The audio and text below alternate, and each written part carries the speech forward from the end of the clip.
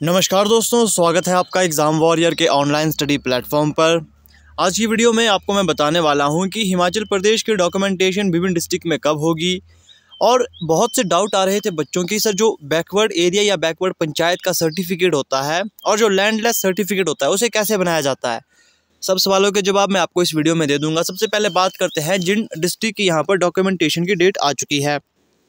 अब देखिए, कुछ एक डिस्ट्रिक्ट ऐसी है जिनकी ऑफिशियली नोटिफिकेशन नहीं आई है, लेकिन बच्चों को मैसेज ज़रूर आए हैं। अब जैसे आप देख सकते हो, सबसे पहले लाहौल एंड स्पीति का हमें पता लगा था कि डॉक्यूमेंटेशन की डेट कब आएगी।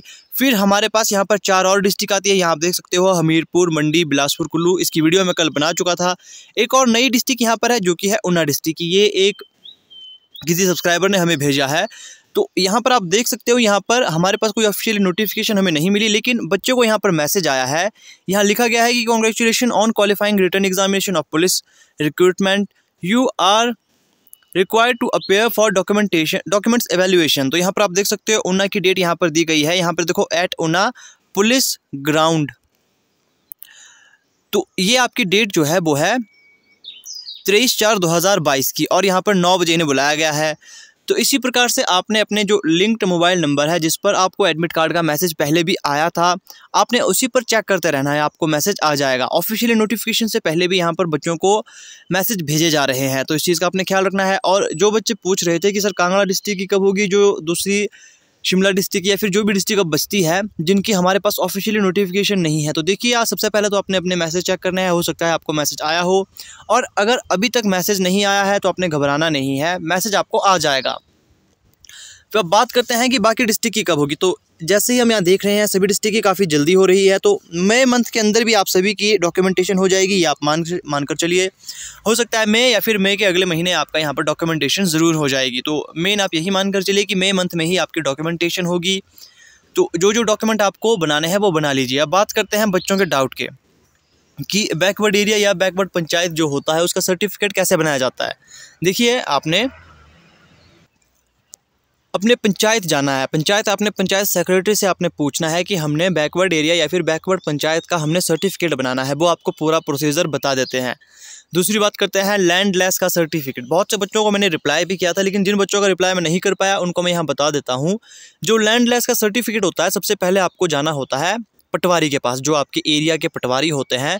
वहाँ आप जाइए, उनसे कहिए कि हमने लैंड लेस का एक सर्टिफिकेट बनाना है और आपकी भूमि एक हेक्टेयर से कम होनी चाहिए।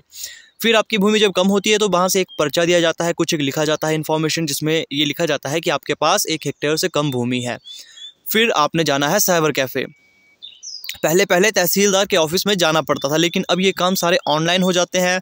हाँ अगर आपके दो दिन से ज़्यादा लगते हैं तो आपने तहसीलदार ऑफ़िस जाना है। वहाँ पर आपके डॉक्यूमेंट्स आपने बोलना है कि हमने लैंडलेस का बनवाया था, इसके लिए अप्लाई किया था तो ये दो दिन से ज़्यादा हो चुके हैं और नहीं बने। तो वो जल्दी ही काम कर देते हैं, लेकिन ऐसे आपको ज़रूरत नहीं पड़ती है। आप सीधे साइबर कैफ़े जाइए। साइबर कैफ़े का मतलब लोकमित्र केंद्र आप जाइए। वहाँ से आप ऑनलाइन अप्लाई कर सकते हो। तो आई होप ये अपडेट आपको समझ आ चुके होंगे और जिन बच्चों को अभी तक ये पता नहीं है कि उनकी डॉक्यूमेंटेशन कब होगी, देखिए आपकी मई मंथ के अंदर ही आपकी डॉक्यूमेंटेशन होगी। या हो सकता है आपकी जून में आ जाए, है ना? तो आपको मैसेज आ जाएगा, क्योंकि ऊना डिस्ट्रिक्ट की आपने देखा होगा ऑफिशियल नोटिफिकेशन हमारे पास अभी नहीं आई थी, लेकिन बच्चों को मैसेज यहाँ पर आ रहे हैं। तो अपने अपने मैसेज चेक करते रहना है और जिनको मैसेज अभी तक नहीं आए हैं एडमिट कार्ड डाउनलोड नहीं हो रहे, वो घबराएँ नहीं, आपके एडमिट कार्ड आ जाएँगे। ऐसा नहीं होता कि आपके एडमिट कार्ड ना आए। और अगर ऐसा हो भी जाता है, क्योंकि ऐसा होता तो नहीं है, लेकिन अगर गलती से कभी एक बच्चे के साथ ऐसा हो जाए तो आप अपने पुलिस अधीक्षक के कार्यालय जा सकते हो, क्योंकि आपके दोस्तों को आपको पता होगा डॉक्यूमेंटेशन कब होगी तो आप उनसे पता करके पूछ सकते हो कि, सर, मेरा डॉक्यूमेंट या फिर मेरा जो एडमिट कार्ड है डॉक्यूमेंटेशन के लिए वो अभी नहीं आया है। लेकिन ऐसे नहीं होता है। बहुत कम चांस होता है कि ऐसे होगा तो आपको मैसेज आ ही जाएगा। तो आई होप आपके ये डाउट क्लियर हो चुके होंगे डॉक्यूमेंट से रिलेटेड और ये आपके डॉक्यूमेंटेशन से रिलेटेड कि कब आपके होंगे। तो मिलते हैं आपसे नेक्स्ट अपडेट में।